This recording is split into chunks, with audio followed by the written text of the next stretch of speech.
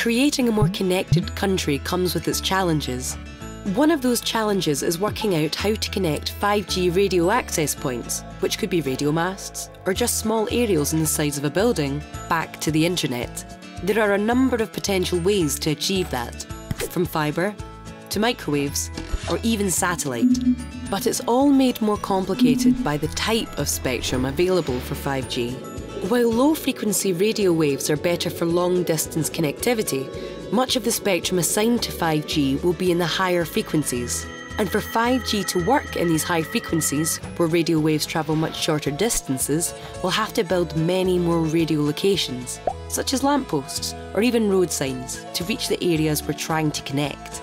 These are just some of the challenges we face, but with enough investment, we believe we can solve them.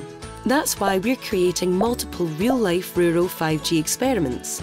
We want to prove the economic benefit of connecting the country beyond the city and help unlock new opportunities for everyone in the UK.